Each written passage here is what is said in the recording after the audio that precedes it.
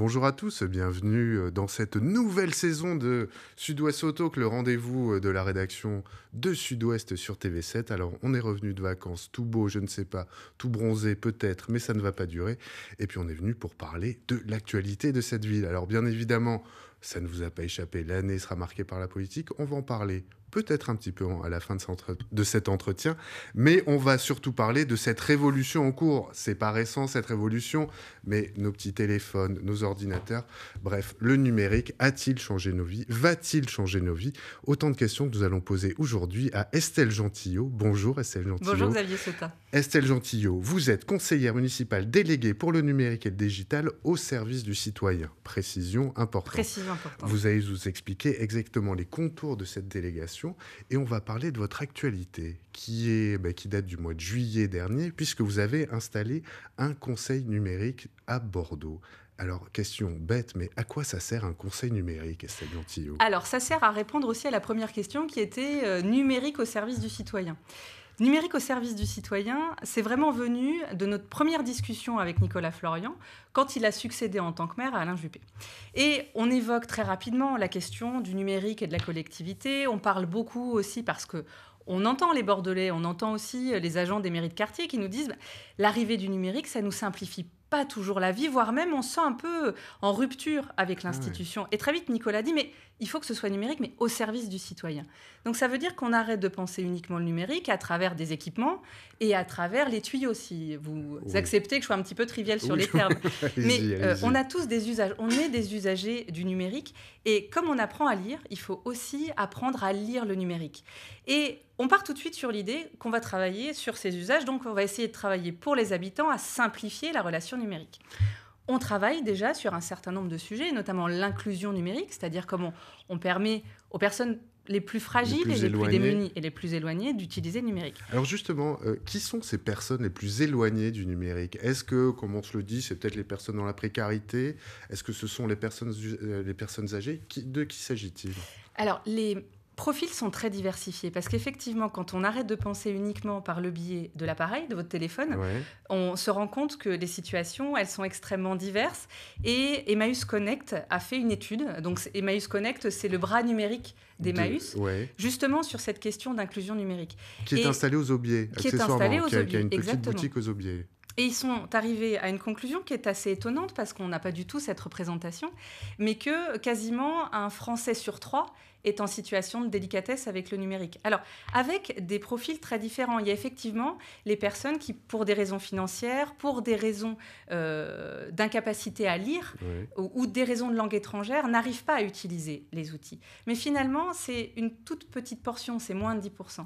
Les 30% qui restent, c'est ensuite des problèmes de compréhension, des problèmes de confiance et des problèmes d'angoisse presque quand on arrive devant un formulaire et que tout va bien, qu'on a juste à cocher une case, ça va, on valide. Mais quand on a un problème et quand on doit faire reconnaître son problème, là, ça peut toucher tout le monde. Ça peut nous toucher, nous aussi, des, gens qui semblent tout à fait à l'aise avec le numérique.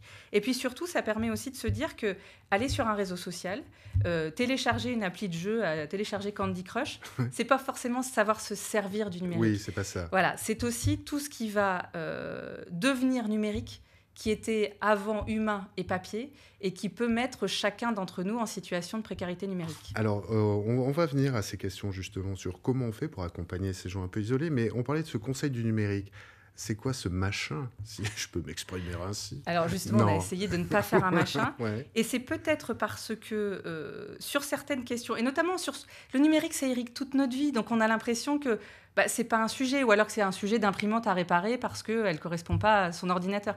C'est pas uniquement ça, c'est aussi pour l'institution, pour la mairie de Bordeaux. Et c'est pour ça que notre maire, Nicolas Florian, tenait à ce que ce soit au service du citoyen. C'était de se dire, mais euh, peut-être qu'on a besoin, nous, l'institution, d'être secoués dans nos représentations mhm. et, et d'aller prendre chez ceux qui travaillent avec le numérique aussi des idées. Et donc, bah, de mettre autour de la table des gens qui n'ont pas forcément de relation avec l'institution directe, mais qui ont une relation avec le numérique. Et de constituer un panel qui soit euh, très hétérogène. Donc on a à la fois dans ce conseil numérique des gens qui viennent du numérique privés.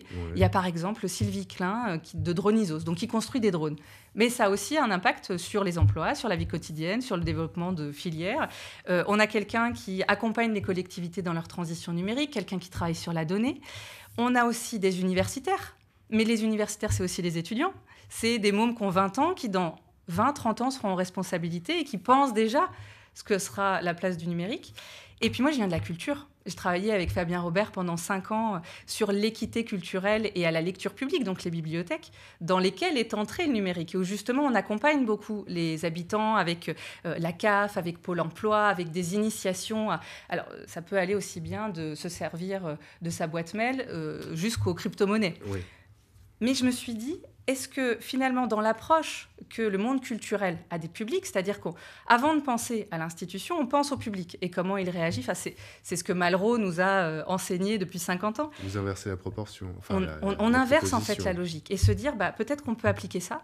Comment on pense d'abord au public et comment nous, on va changer nos façons de faire. Donc, les universitaires, des acteurs culturels, comme Guillaumite, par exemple, qui est le directeur artistique du Carnaval des Deux Rives. Et Guillaumite, il a euh, créé ce carnaval augmenté, donc il a permis aussi aux mômes de la rive droite eh ben, d'utiliser autrement des ordinateurs, des téléphones, de faire du code, qui est un nouveau langage, le code. Alors, mais ce, conseil, je, vous êtes mm. passionné par ce sujet, et ça se voit, et vous en parlez très bien, mais euh, vous faites quoi dans ce conseil? C'est quoi Enfin, il y a, bon, y a une feuille de route, j'imagine, qu'est-ce qu'elle dit?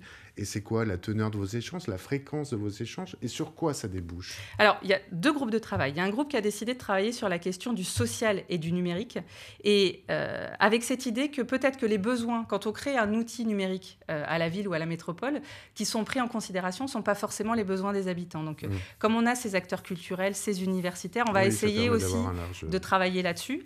Et puis, un autre groupe s'est chargé d'une thématique qui est beaucoup plus euh, prospective, c'est-à-dire qu'elle va essayer d'aller voir plus loin en se posant la question du numérique et de l'écologie. Est-ce que le numérique peut être compatible avec une démarche écologique Ou au contraire, est-ce que le numérique, c'est un peu un non-sens quand on parle de développement durable et, alors, vous en dites quoi, vous, Estelle Gentillot Alors, moi, je, vous me tendez la perche. Je crois que le numérique peut euh, nous aider mmh. sur un certain nombre de questions de développement durable, parce que, par exemple, avec la donnée et la donnée publique, on peut avoir une représentation très visuelle, euh, comme un peu, vous le faites dans Sud-Ouest, vous faites ce qu'on appelle de la data visualisation ou de l'infographie, donc des schémas.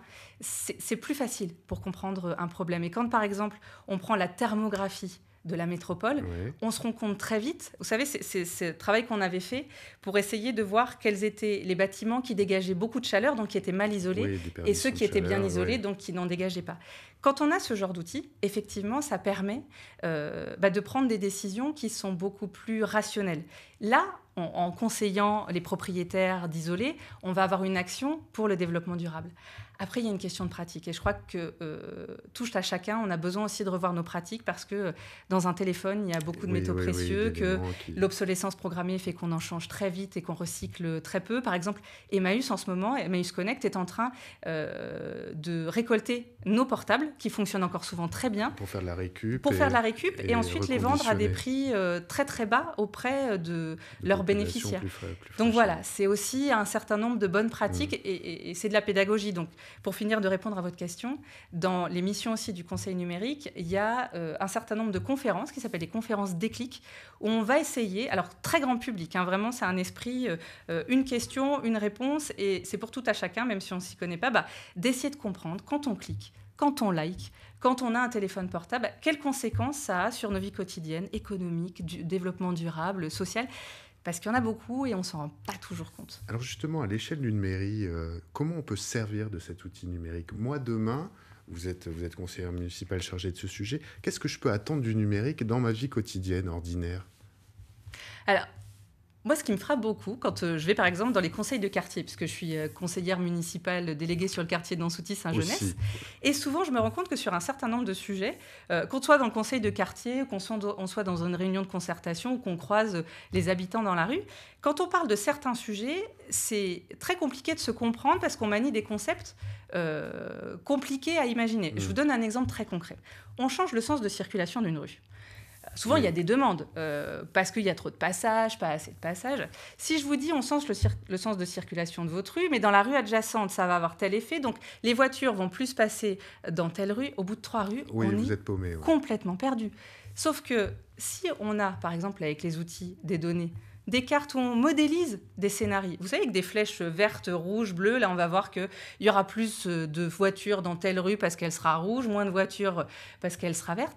Là, on est à armes égales avec les habitants pour discuter de la décision et savoir si elle est bonne. en fait, ces outils-là nous permettent aussi de mieux dialoguer parce qu'elles permettent aux habitants d'être vraiment citoyens et vraiment acteurs de la décision et de plus être uniquement dans une relation très descendante oui, ça, de la mairie vers les habitants. Ensuite, on découvre la réalité euh, par la suite, enfin l'usage, quoi, l'épreuve des, des, faits. Alors justement, est-ce qu'il est envisageable, on parlait de cette fracture numérique où il y a des populations qui sont plus ou moins en délicatesse avec ça, est-ce qu'il est envisage, envisageable de créer peut-être des nouveaux métiers, des nouveaux services? Je pense à la cité municipale, est-ce qu'on peut pas un jour se retrouver avec un pôle numérique qui viendrait accompagner, euh, qui, euh, un monsieur qui est en délicatesse avec la CAF, qui, cette dame a un petit souci avec ses impôts. Ça, c'est des services, c'est des métiers qui peuvent apparaître grâce au numérique? C'est des métiers qui peuvent apparaître, des métiers qui existent pour certains et qu'on est en train de développer. Euh, Alain Florian, euh, Alain Florian, Nicolas Florian, Nicolas Florian, le maire de Bordeaux, euh, a pris comme engagement de lutter contre l'isolement des personnes. Des personnes isolées, c'est très difficile d'aller les toucher. Quand elles sont isolées derrière leur mur, quand elles sont isolées numériquement, c'est très difficile d'aller les toucher parce qu'elles n'ont pas d'interaction avec la mairie. Ces personnes-là, c'est une priorité. On a aussi toutes les personnes qui effectivement sont en situation de, de précarité qu'on évoquait tout à l'heure, avec le Centre communal d'action sociale, avec beaucoup d'associations aussi. On a parlé d'Emmaüs Connect, mais euh, beaucoup viennent aussi euh, œuvrer à ça. L'écosystème qu'on a réuni d'ailleurs pour ces journées Agir euh, pour l'inclusion numérique la semaine dernière à la Halle des Douves avec la ville, elles vont essayer d'aller vers ces usagers. Et à l'espace Sésame, qui a été ouvert à, à Saint-Michel l'année dernière, les travailleurs sociaux sont formés justement à cet accompagnement numérique parce que eux aussi, et c'est à eux aussi qu'il faut penser, c'est-à-dire les agents euh, municipaux qui sont dans les mairies de quartier, qui sont à la cité municipale, les agents du CCS. Euh, c'était pas dans leur feuille de route, c'était pas dans leur fiche de poste souvent quand ils ont été euh, engagés. Donc ils ont aussi, besoin voilà d'être mis à niveau, pas seulement sur une question technique, mais aussi comment on prend en considération ce besoin qui est apparu d'être en confiance et d'arriver à se dépêtrer avec euh, la CAF, avec Pôle Emploi, avec euh, tout un tas d'institutions qui sont aussi à marche forcée, puisque d'ici deux ans, la dématérialisation de l'administration sera, effective. Donc, on sera tous confrontés à ce genre de situation. Et puis ensuite, il y a ces personnes qui sont très isolées, où là aussi, on est en train de réfléchir avec Nicolas Florian à comment on peut aller les chercher. Donc, quand je disais tout à l'heure sortir de nos murs à nous aussi. Oui, c'est ça, c'est parce que c'est des gens qui ne viendront pas à la cité municipale parce qu'ils ont un problème, euh, un problème de connexion, enfin voilà, de, compréhension de l'outil. Euh, il y a un autre sujet, c'est la protection des données quand même, parce qu'on sait que la ville euh, met à disposition ce qu'on appelle l'open data, c'est-à-dire on met un certain nombre de données en ligne comment le citoyen, comment il est protégé? Enfin, expliquez-nous comment ça marche en fait. Est-ce que, ben, vous parliez de thermographie, euh, est-ce que je vais être pointé du doigt par mes voisins parce que ma, ma maison est une passoire? Je comprends tout à fait cette question parce qu'effectivement, elle nous fait tous réagir. Et le 26 août a été mis en ligne euh, le nouvel Open Data de la ville de Bordeaux et de la métropole. Ces data, ce sont des données publiques, c'est-à-dire qu'il n'y a rien de personnel. Et vraiment, on est astreint, nous, la collectivité, à protéger ces données. Donc, il n'y a jamais un nom, un prénom, une date de naissance, quelque chose qui permet de vous identifier formellement qui va apparaître dans ces données. C'est notre mission parce que aussi, la collectivité, elle est garante de la liberté publique et de euh, l'identité de chaque citoyen. Donc, on les enlève, toutes ces données, et on ne met pas les documents sensibles. Il y a un certain nombre de documents qui ne seront jamais publiés parce qu'elles relèvent de la donnée personnelle. Donc, tout ce qu'on va trouver, c'est vraiment pour que, euh, à la fois le citoyen et puis aussi le développeur, parce qu'ils s'en servent, c'est-à-dire les gens qui font de l'informatique et qui vont créer des applis à partir de ça, vont utiliser. Mais vraiment, euh, l'idée a été, en ouvrant cet atelier Open Data, qu'on puisse euh, très simplement utiliser cette donnée, parce que sinon, c'est la double peine. La première fois qu'on m'a ouvert un fichier de data. Je dis, ah oui, alors ça c'est du CSV, je ne comprends pas. Moi, l'alphabet a 26 lettres, pas 1, 0, je ne comprends pas. Donc, c'est aussi des outils qui sont sur le site où on peut faire des cartes, on peut faire des diagrammes qui vont permettre de comparer et puis de recouper certaines euh, données les unes avec les autres. Donc par exemple, quand on, parce que ça, ça intéresse beaucoup euh, les Bordelais, le prénom le plus donné dans l'année. Au lieu d'avoir un grand tableau avec les prénoms depuis 1900, parce que c'est le cas en fait, euh, prénom fille, prénom garçon, et eh ben, vous pouvez créer un diagramme, vous pouvez créer d'année en année, vous pouvez voir si vous avez appelé votre petit garçon Gabriel, si ça a été donné plus telle, telle ou telle année. Donc ça permet d'avoir une démarche qui est véritablement citoyenne. Et ensuite, parce que c'est important, cette donnée qui est une donnée privée. La question va se poser de façon encore plus flagrante dans les années à venir. L'imprimerie nationale, qui est euh, l'institution étatique qui gère nos cartes d'identité, donc vraiment nos identités, euh, est venue trouver la métropole de Bordeaux l'année dernière parce que va être initiée la première expérimentation de carte d'identité numérique. À terme, notre carte d'identité, elle ah sera aussi dans nos téléphones. Sur, nos téléphones. On est garant de ça. C'est-à-dire que ça, c'est des choses qu'on ne peut pas, et philosophiquement, j'y crois, on ne peut pas déléguer. Le citoyen bordelais est protégé. Le citoyen français, on est, on est des Bordelais, on est aussi des Français, on est des citoyens. Donc ces données-là, elles sont extrêmement fondamentales, et on ne peut pas laisser ça à Google ou à Facebook. C'est quelque chose qui est euh, structurant de la République et derrière de la démocratie. Une dernière question à celle Gentillot. On va sortir du sujet, on va parler un petit peu de politique. Vous êtes euh, donc conseiller municipal rattaché auprès de Nicolas Florian, vous êtes militante au MoDem. Euh, voilà, l'actualité euh, municipale est en train de bouillir. Ce week-end, Bordeaux accueillera les campus des territoires de la République en marche. Vous irez, vous? Comment vous situez justement dans ce débat par rapport à Thomas Cazenave bah, qui, qui, vient tailler des croupières au maire sortant? Bah, On sent qu'il y a beaucoup de fébrilité dans cette rentrée. la fébrilité, c'est quand on observe en l'occurrence, et Nicolas Florian nous l'a encore rappelé euh, cette semaine, euh, les Bordelais nous ont élus pour six ans et jusqu'à la fin de l'année et en début d'année prochaine, on continue de travailler pour eux. Il y a une ville derrière euh, qui attend encore qu'on s'occupe de, des problèmes des habitants et qu'on continue à faire tourner. Après, effectivement, se pose la question euh, de la République en marche. Parce que vous êtes modem, vous êtes allié au national. Ah, il y a une logique nationale. Il y a une logique nationale parce que derrière les étiquettes, il y a des valeurs. Et être humaniste, avoir une fibre sociale, euh, défendre aussi la liberté euh, d'entreprendre, la liberté de chacun de pouvoir être responsable de lui-même, ce sont des valeurs structurantes que j'ai retrouvées chez Alain Juppé, que j'ai retrouvées chez Nicolas Florian et que je sais que nous partageons avec un certain nombre de militants de la République en marche. Maintenant, euh, la politique, c'est comme une histoire d'amour. Si on se contente de regarder dans un premier rendez-vous l'étiquette qui est cousue dans la veste de la personne qu'on a en face de vous et qu'elle ne vous parle que de ses projets sans vous écouter, ça ne durera pas très longtemps. Quand euh, on essaie d'avoir une vraie relation, de discuter, de s'intéresser à l'autre, et puis d'initier un dialogue qui fera que peut-être on fera un long bout de chemin ensemble, c'est certainement plus fructueux. Donc euh, je crois aussi que euh, chez nos camarades de la République en marche, euh, entamer le dialogue, être dans une démarche qui est constructive, qui est au-delà des étiquettes, c'est certainement la décision la plus sage parce que c'est une élection de proximité. Et euh, quand on dit être à portée d'engueulade, c'est ce que nous dit Édouard Philippe, mais il a parfaitement raison. Bah, c'est aussi savoir s'occuper de, à la fois la dame qui va vous demander que le ramassage des poubelles soit peut-être pas le bon jour parce que elle, ça l'embête, et puis aussi se préoccuper de données euh, publiques parce qu'il y a une logique nationale. Donc il faut être à l'écoute. Je crois que c'est l'enseignement qu'il faut garder et garder son sang-froid d'ici à la fin de l'année. Parfait, Estelle Gentillot, merci. merci. Peut-être saurez-vous écouter, on le souhaite en tout cas. J'espère. À très bientôt. Merci de vous être déplacé euh, pour, pour nous parler de tout ces sujets, puisqu'on en a abordé un certain nombre. Quant à nous, eh bien, nous allons nous retrouver eh bien, dès la semaine prochaine dans Soto. Et je fais un petit peu de teasing, puisque l'actualité municipale, on le disait, frémissait. Rendez-vous mardi soir sur cette antenne pour une interview de Nicolas Florian qui fera sa rentrée. Mercredi, nous aurons sur ce plateau Pierre Urmic.